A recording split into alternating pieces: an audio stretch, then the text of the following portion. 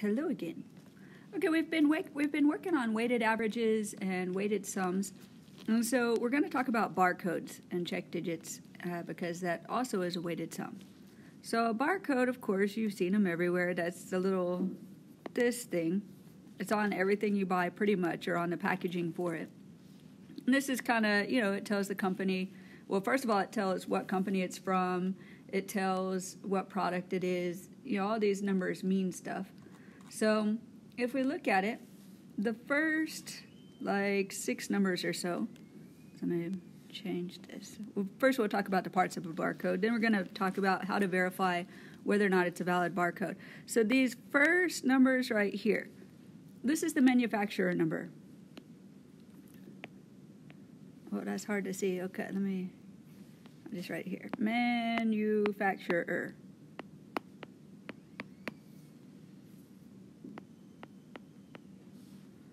So that's that's the company that that sold this product. So if you go to Office Depot and you buy a bunch of stuff that's Office Depot brand, they're going to all start with those same six numbers. The next set of numbers, I'll do this in yellow. This part is the product. That's the thing itself. Product number. So in their system, if they have it, this is from a lotion bottle. So this is A la Maison is the company, de Provence and it's coconut cream, moisturizing shea butter, and argan oil, hand and body lotion. So this 01158 would be the body lotion, this particular one. And the, the red one, the 817252, that would be A la Maison de Provence. So that's the company name. And then you notice there's that little two left all by itself on the end. Let me find a bright color. Da da da, this right here. That's our check digit.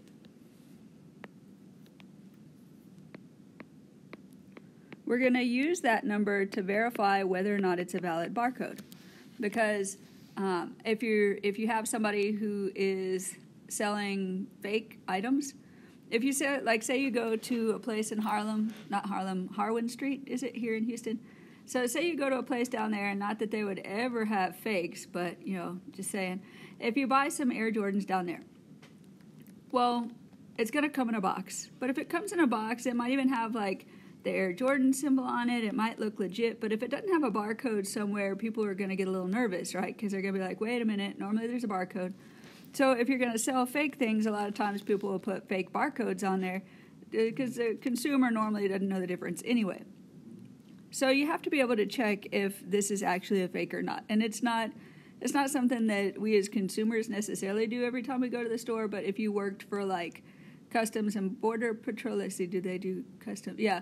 So they would they would sometimes check this to make sure that the products that are being imported are what they say they are. Make sure they're legit. So okay so we have this barcode and here i'll show you another example of a barcode. So this is off of a Kleenex box. It's the Kroger brand. So then, same thing. The first six digits, this would be Kroger. The next five would be this type of Kleenexes, so super ultra cheap. And this one is our check digit. So, okay. Let me go to the next page. Da da da. I'm going to insert my lotion picture again. Okay, so we're going to use this barcode. and uh, we want to check it. Maybe I'll put it over here. So we want to check and we want to see if this is actual, like this is legit. Now probably somebody's not going to fake a, you know, five or ten dollar bottle of lotion, but you know, pretend it was an expensive one.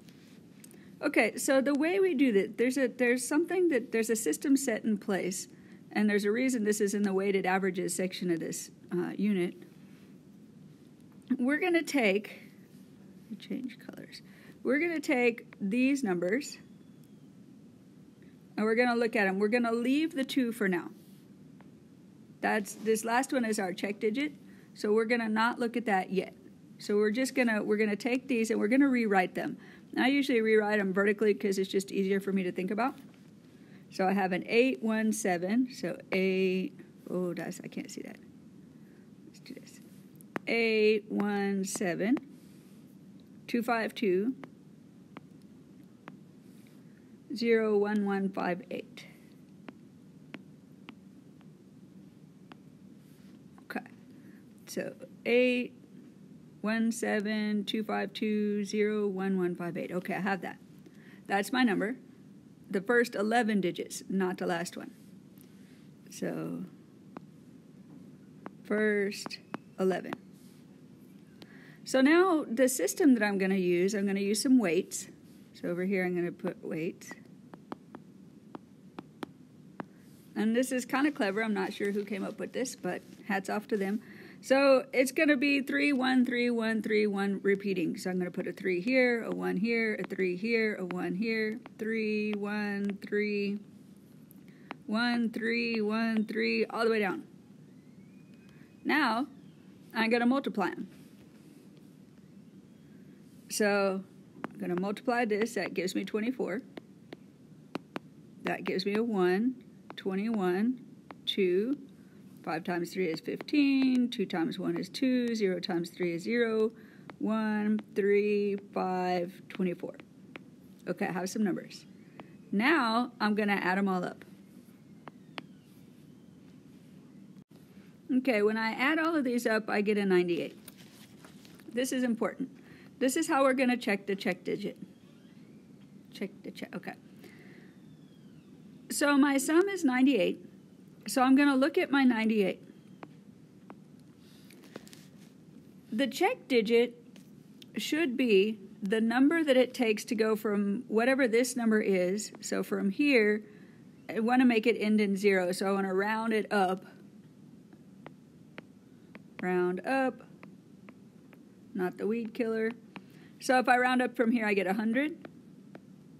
And then if I subtract these two, so 100 minus 98, it gives me a 2. So the 2 is the number that it would take to make this end in a 0, right? So from 98 to the next thing that ends in 0. So my check digit should be a 2. So if I look up here, oops, my check digit is a 2, so it's valid. Are you sufficiently confused yet? Okay, let's try it again so we'll be more confused. Okay, let's try our Kleenex box. Okay, so here's our Kleenex box. So I'm going to write the numbers down. So I'm going to use these numbers, right? I'm not going to look at the 6. The 6 is my check digit, so I want that's what I'm going to use to check whether this is valid. So let me write these down. Now I'm going to write the weights. So 3, 1, 3, 1, 3, 1, 3, 1, 3. Uh-oh, so I did something wrong. 1, 2, 3, 4, 5, 7, 8, 9, 10. Oh, I missed a number. Okay, see? This is not good. Do I have not enough? Let's see. Oh, I skipped my zero. Just a second. Oh, no, I don't want to do that. I'll put... Ah.